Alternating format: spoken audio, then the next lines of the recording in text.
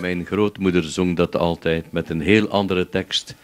Achter de kazerne, onder het Rode Plein, stond Ah, er een smeerlap. En stond er een Duitser, wat voor smeerlap moest dat zijn? En eh, ik herinner me dat, ik was toen heel klein. En toen was mijn grootmoeder al zeer oud. Althans, eh, als kind zijn mensen al heel snel oud. Hè? En in uh, Lili Marleen in Antwerpen zingen ze dan... En de Duits moest terug met zijn bedurven bloem. Ja, ja, ja.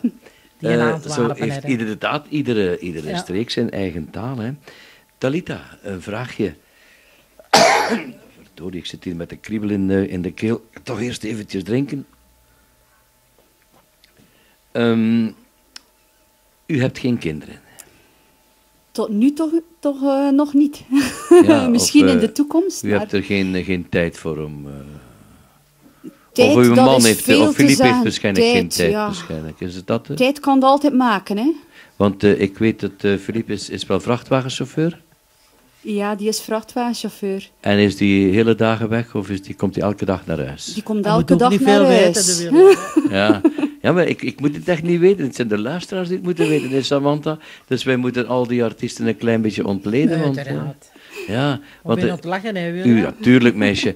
Want ik ga zeggen, uw man die was rijkswachter, Eh, politieman. politieman. ja. En eh, u hebt ook geen kinderen? Eh, één kind, één, zoon. Nee, een zoon van bijna 29. Excuseert u mij, één zoon, maar ik, wou, ik, ik weet ook waarom u, dat u maar één zoon hebt. Hè.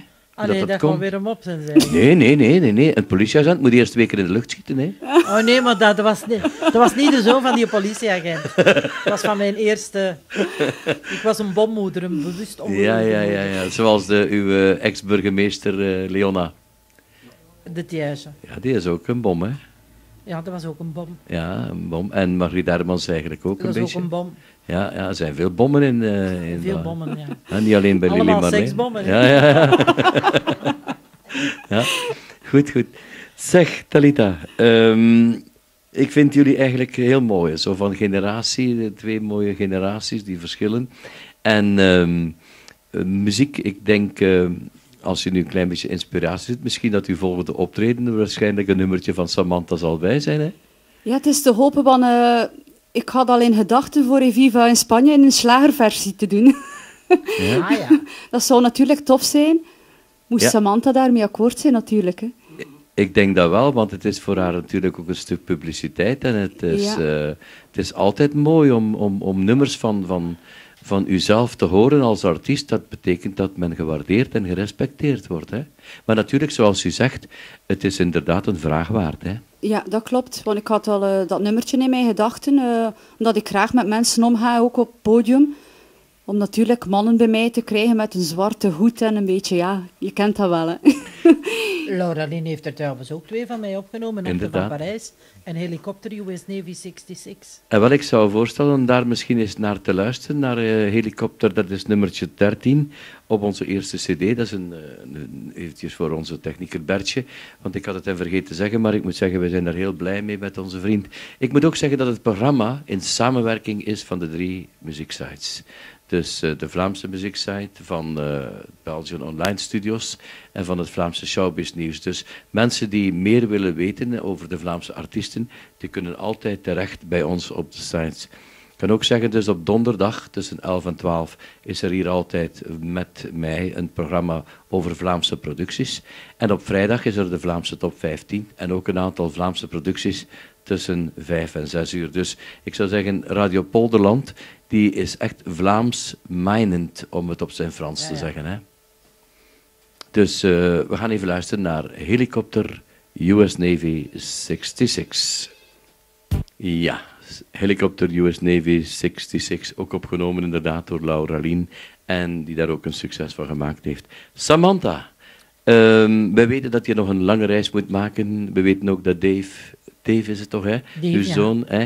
nog een eh, heleboel dingen te doen heeft in het Antwerp Sportpaleis. En daardoor ehm, moeten we ietsjes vroeger afscheid nemen, maar we zijn toch zo echt verheugd en blij. En vooral vereerd dat u gekomen bent hier bij ons op Radio Polderland. En u bent bedankt voor de uitnodiging en ook voor de lieve mensen die er allemaal aanwezig waren. Er waren Dus, er eh, veel aanwezig, hè? Heel veel. Ja. En dat is geen bandje, hè. Dat is echt, hè. Dat was allemaal niet echt, hè. ja, ja, ja.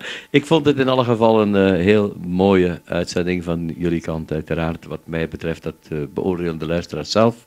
En ik zou zeggen, Samantha, ik wens je nog heel veel succes in de toekomst. We kunnen alleen maar beloven dat we heel veel promotie zullen maken voor u, uw plaatjes draaien. Dank Of u. beter gezegd, uw cd draaien, want plaatjes, dat is uit de tijd van de platenruiters, hè. En ik doe ook de groetjes aan al de luisteraars van Radio Pol- Polderland. Hè. Ja, dankjewel, in naam van de luisteraars. Ik bedank ook Gilbert voor de moeite die hij gedaan heeft om alles op poten te zetten. Ik bedank Davy, omdat hij toch zo eh, belangrijk is dat hij jou naar hier gebracht heeft. En ik zou zeggen, we gaan een tweetal nummertjes beluisteren naar elkaar. Tikke Tikke Takke Tango en de Friends Song. En ondertussen gaan we samen met alle mensen een aantal fotootjes nemen. En ik zou zeggen tegen de luisteraars, tot binnen een tiental minuutjes. Dank u wel, Samantha. Dank je wel.